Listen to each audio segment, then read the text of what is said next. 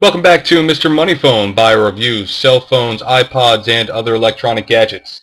Today we're going to show you how to do a hard reset or restore on the iPod Touch. The particular model we're looking at right now uh, is going to be the third generation, but it should work with any generation, and it should work with any iPod for that matter.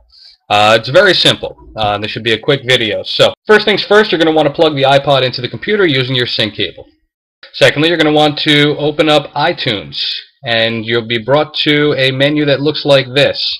Uh, if you're brought to the original home page, uh, you can get to this menu by clicking on Devices and click on the device that's currently plugged into the computer.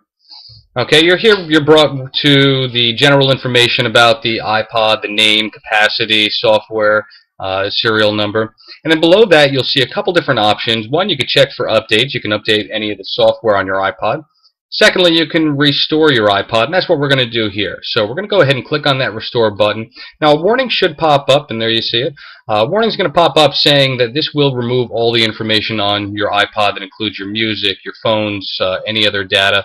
So be sure to back that information up. Now this will erase the information. The other purpose you want to use this for is to fix any software issues you may be having. If your iPod freezes up on you, if you have any, any glitches while the music's playing, uh, this should do that. So if you're able to back that information up on iTunes and you'll be able to sync that back once you restore your iPod.